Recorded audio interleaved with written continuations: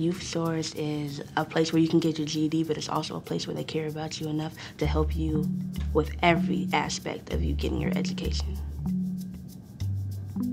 So YouthSource is um, an employment and education program. So we focus on re-engaging um, young people into education and then we help them on their long-term education and employment goals through support of GED programming. Uh, we also have an online high school option and then we also do job readiness training and help them kind of get into their next steps of school or work.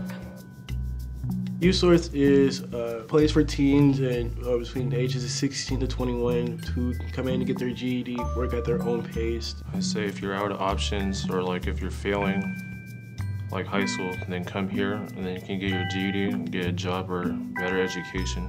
They help you with jobs, they help find jobs, they give you internships to different places. Like I went through an internship. They help with college, they pay for your parking, they help you with books if you need it. You can get your GED, we all know that, but it's a place where you come and then they'll actually treat you like you're like not stupid like that, like they do in high school. Like they're more supportive of you. They help you whenever you need it. Instead of like teachers in high school, they have a whole bunch of kids to help and they don't really have the exact resources that Youth Source has. The classroom is way more lax than the other classrooms at the at my other high school and stuff, and they really actually help you when you need it.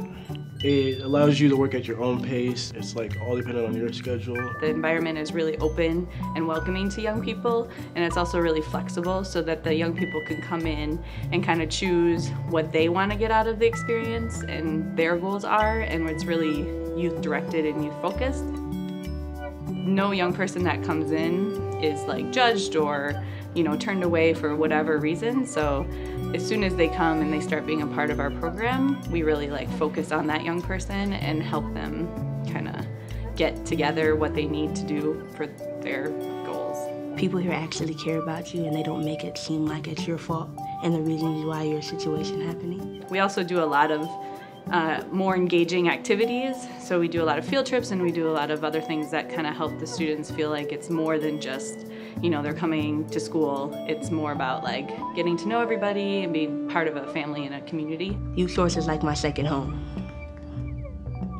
It's helped me to where I can uh, get into college because I want to uh, become a police officer. If I hadn't found out about Youth Source, I would have never had my GED. I probably wouldn't be in college like I am now. They helped me get my job and they helped me with a lot of extra stuff as well, not just school.